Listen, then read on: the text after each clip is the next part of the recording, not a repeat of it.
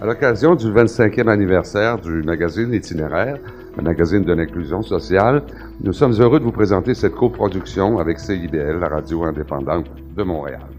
Aujourd'hui, nous avons le plaisir de recevoir la mairesse de Montréal, Mme Valérie Plante, pour une première visite officielle depuis son élection. Bienvenue, Mme Plante. Bonjour tout le monde. Euh, C'est quel plaisir d'être avec vous. Je vois que vous êtes bien préparés hein, pour les questions. Je suis prête. Alors, euh, on y va, on se lance. Les dents, pour moi, c'est d'être plus connecté aux besoins euh, du terrain. Et ça, ça veut dire d'être plus à l'écoute des, des, groupes, euh, des, intervenants, que ce soit, euh, entre autres, l'itinéraire. Et dans les choses qu'ils nous ont dit, qu'on a décidé que nous, on allait les écouter. Ce qu'on se rend compte quand on regarde le, le portrait de l'itinérance, c'est qu'il y a plein, plein de profils différents.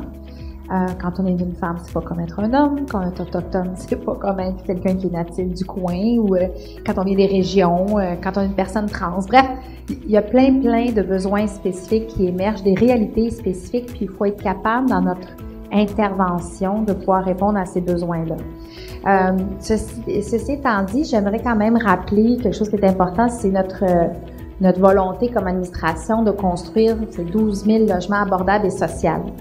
Et, euh, et le côté, et ça c'est important de le prendre en considération parce qu'il y a des personnes qui vont pouvoir profiter d'unités parce qu'on a à peu près, on a jusqu'à 25 000 ménages qui sont en attente en ce moment sur une liste pour avoir un logement social.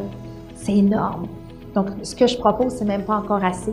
Mais si je suis capable de, de, de faire ces unités-là, on n'a jamais vu ça, une cible aussi ambitieuse, mais c'est nécessaire pour que certaines de ces personnes-là ne se retrouvent pas à la rue, ben ça va venir contribuer aussi.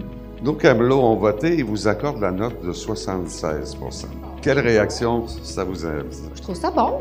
Oui, oui, absolument. Moi, ça m'encourage à euh, toujours euh, euh, mieux communiquer ce qu'on fait, parce que c'est aussi ça. Hein? Si on arrive à bien dire les choses qu'on a réussi à accomplir, euh, ben, les gens vont, vont, vont dire Ah oui, OK, telle, telle chose. Alors, il faut, faut, faut qu'on soit meilleur à communiquer. Puis, euh, ça m'amène aussi à vouloir encore plus me surpasser pour que l'année prochaine, ça augmente tout le temps. Je pense que c'est euh, ouais, très positif. Je vous remercie beaucoup du temps que vous nous avez accordé aujourd'hui. Merci.